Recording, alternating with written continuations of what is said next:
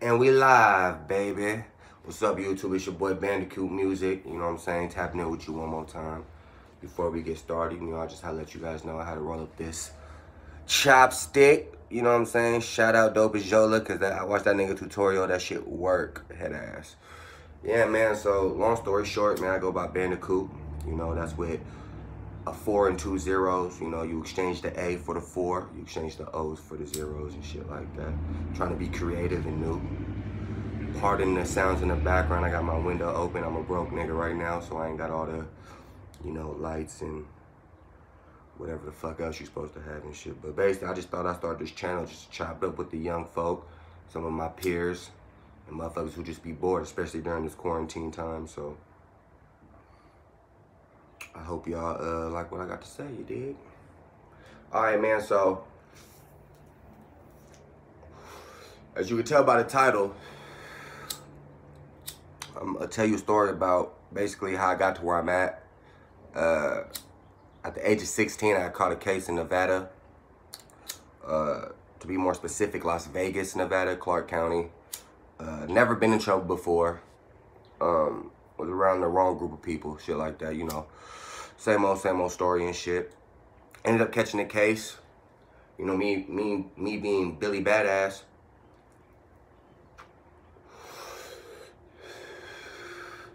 Nigga in that juvenile courtroom, nigga, just just feeling himself, talking big, big shit to them, to they ass certified me. Now, what certification is, it's when they charge a juvenile as an adult. So basically, you facing um, adult punishments and shit like that. Like, but I'll get to more on that. Yeah. So anyway, so I'm 16, right? I'm originally from the Bay Area.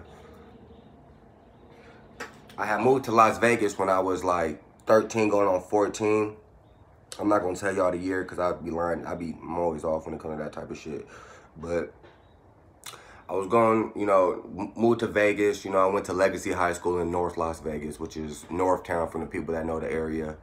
Uh, basically, went to a different school. You know, every every fucking year it seemed like I went to Legacy, Durango, Cimarron, Desert Rose, and the little homeschool shit, the AIS shit, you feel me? So, yeah, so long story short, I was able to be very sociable when it came to like that city. Like, going to different schools, you going to different areas, different sides of towns, mean different people, different crowds. So, at the time I'm 16, I'm going to Cimarron and shit. Group of my niggas and shit, and if them niggas is watching this, they probably know the whole situation. Long story short, ended up catching a case for home invasion, right?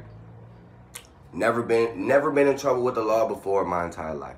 That well, I ain't gonna say like my entire life. I've never actually got caught and like went to jail or juvie or anything. So this is my first time, you know, in this whole situation. You know what I'm saying? Dealing with a whole situation like this. So long story short, you know, I go to juvenile. I have a co-defendant. He was he was uh, 18 at the time. I was 16, so he went directly to CCDC, which is the Clark County Detention Center in Las Vegas.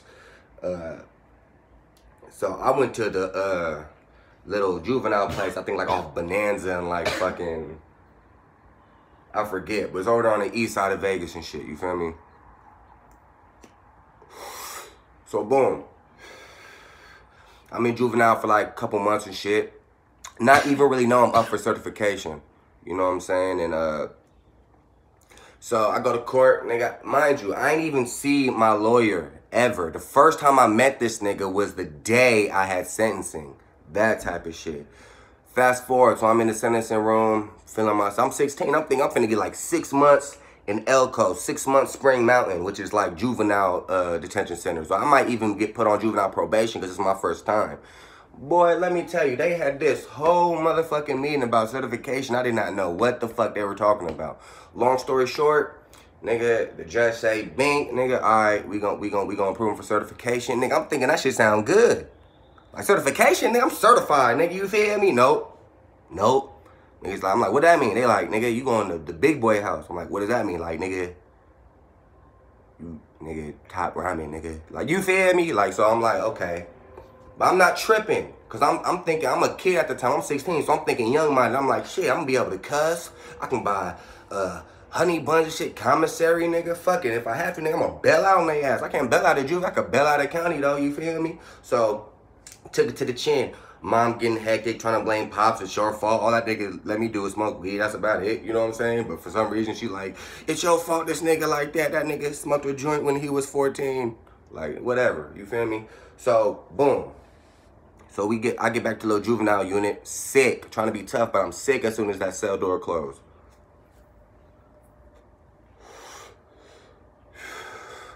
As soon as that cell door closed, nigga, I ain't gonna cap, nigga. I'm like, damn, bruh.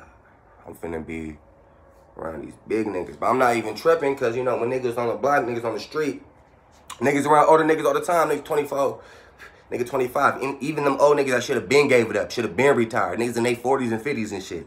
So I really wasn't worried about like the people in it. I was just worried about like how much time I was facing, cause juvenile time and like big boy time is complete different things. You go from a few months to maximum a few years to nigga football numbers, nigga. Randy Moss on the sideline. So it's like, nigga, so I was sick. I don't even know how much time I'm facing because I was charged with two counts of home invasion with deadly weapon, two counts of attempt robbery with deadly weapon, two counts of conspiracy to commit robbery with deadly weapon, and a racketeering charge, you feel me? So, I'm like, they told me what one of them charges was carrying. I was like, Jesus, nigga. So they put me in the juvenile cell when I get back to the juvenile unit after I've been sentenced. Now, technically, since I've been certified, which means technically I'm an adult in the system, I cannot be around these juvenile niggas. Even though these niggas might be older than me. So I'm in the cell. The weak ass niggas come up to my door like, nigga, woo woo wop. Technically, I can't punch this bitch ass nigga in the mouth because I can get charged as an adult now because in the system, I'm an adult. Like, fuck my age. You know what I'm saying? I ain't tripping. Nigga, later on that day, they immediately came and got the young fella. Bink. I'm like, ah, nigga, first time I ever had to experience grown-up booking. Head ass. So, boom. I'm in booking. and anybody who ever been locked up in Las Vegas uh, County knows how dirty this whole process is. First, you walk through this little side port.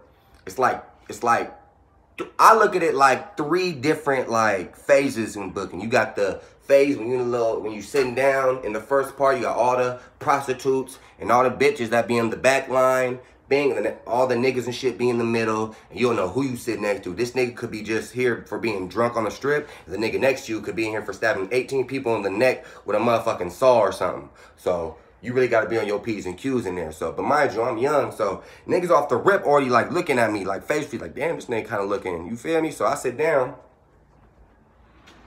They give me my little paper with my charges on it and shit. How much, you know, the bail gonna be, all that shit. So I get my little paper. I'm reading the shit, looking like I'm trying to read fucking Japanese or some shit, confused as hell. So, motherfuckers Niggas like, damn, bro, like, what you in here for? Now, this, this some game for you niggas who gotta go through this shit in the future, nigga. Nigga, don't get caught up and be all extra friendly and shit. Think of that, think of that Blanco, nigga, from motherfucking 27th Street. Nigga's cool as fuck because he was chopping it up with you during booking and shit. But that same nigga, you feel me, will switch on you the minute y'all step onto that tier. You feel me? So you gotta understand that. Keep your motherfucking business to yourself. I don't give a fuck if you gotta lie, nigga. What you in here for? Murder. Damn, that nigga in here for murder. Nigga, leave that nigga alone. You feel me? So, but yeah, so niggas asking me like, what you in here for? I'm like, shit, man. Just one of them. Just. And back in the day, they had this motherfucking show called Jail.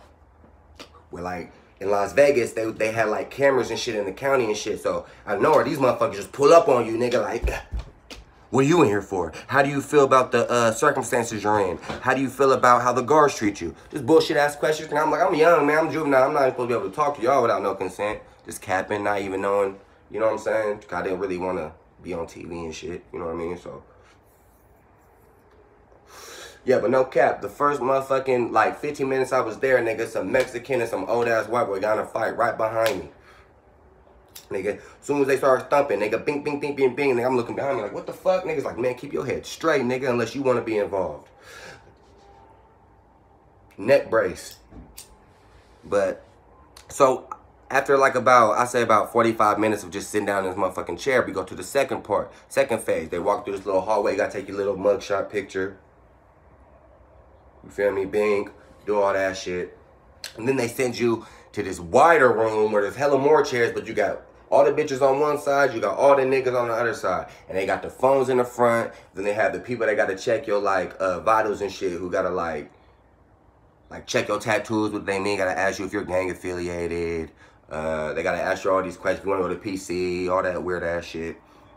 So so you're sitting in there waiting for those people to call your name so you can get the so you can get your fucking process going on. You feel me? But at the time, but at the same time, the phone calls are free at this moment. So you got hella motherfuckers really trying to get their jug in before they go upstairs because that's when they gonna start charging for them fucking phone calls. So you know me, I'm instantly uh, mother head ass mother. I'm in jail. Nigga, she already knew though. You know, you know, the love came out. Man, we gonna make sure you straight. Uh, anything you need, he got you. Gonna throw money on your books, all that shit. Woo woo. You know, Pop's just like, nigga, I'll come visit you. You know what I'm saying? you know what I mean? So, I mean, nigga can't really complain. Now it's kind of just uh maintaining now. You dig? Like, I ain't worried about if I'm a starving this motherfucker. Now I'm just worried about just making sure I stay on my toes so I never step out of bounds and shit. Because the littlest thing in jail could really become the biggest altercation of your life if you don't handle the situation right. So, so for all you tough niggas who really think you really with that rah-rah shit, and, you know, young niggas who think y'all want to carry these guns and all that shit, I'm just telling you, man, eventually when you go to that place where you ain't got no gun, bruh, your car gonna get pulled, and you really, really better be that nigga that you are with the gun without that gun. For real, for real. You know what I'm saying? So, boom. I get called up to the uh, vital lady or whatever the fuck they call. You feel me? They call my name. They run my little fingerprints. Bing, bing, bing, bing. Uh, they ask me if I'm gang affiliated. Uh, I ain't had no tattoos at the time, but matter of fact, I ain't had no tattoos at the time when I caught the case. You feel me? So I ain't got no tattoos. I got hella tattoos now. So long story short, nigga, they check my little vital, everything checked out. Now I'm a juvenile, right? Now, even though I'm charged as an adult, technically I'm still a juvenile when it came to like certain things within the jail. Like, for example, like I'm not supposed to be in a cell with anybody over 18. You know what I'm saying? I'm supposed to be in a cell with only another juvenile. Uh, I'm not supposed to go to the holding tanks in booking. You know what I'm saying? I'm supposed to go directly up to the floor. You know what I'm saying? They fucked up, my nigga. Tell me why I was in a holding tank for almost like two days thugging in the trenches with the nigga with the fucked up feet, bruh. I'm telling you, nigga, I was thugging in the trenches with the nigga with the fucked up feet. And y'all niggas who be in jail know. Nigga with the fucked up feet. Let that nigga peel off. I know you like the polo socks. But let that nigga peel off his sock. And what you gonna see? You know how, you, you ever see like the movie Holes? You ever see like how they try to make like desert landscapes? How it literally looks like there's like chips of sand on the ground? You know what I mean? I don't know if you know what I'm saying, but you know how like in any movie you ever seen when they try to show the desert, how it seems like the ground is like cracking? You know what I'm saying? Like that's how these niggas' feet be with a tint of green though. You feel me? So anyways, as they fucked up, I was in booking. Nigga. Which is which was like the holding I'm in booking in the holding tank. Nigga, I was supposed to go directly up. So I'm in the holding tank with all these niggas, man, but the phone call still free. I'm calling all the homies, nigga. Like, what's your number? You feel me? Hey, what's that one bitch number? Hey, what's uh what do you want number? You feel me? Every bitch I ever cheated on. What's that? What's that? What's their number? All like i need every number possible. Cause I'm not finna do this time alone. You dig? So I'm in a holding tank.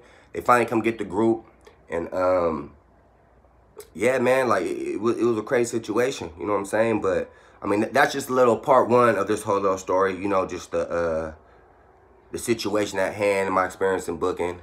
I'll tell you what it was like when I first hit the tier though on the next video.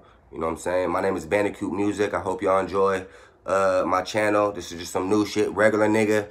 Not trying to do regular shit. That's it, man. Please subscribe. You know, uh, drop a comment below. You know, fuck with your boy. Till then, you dig?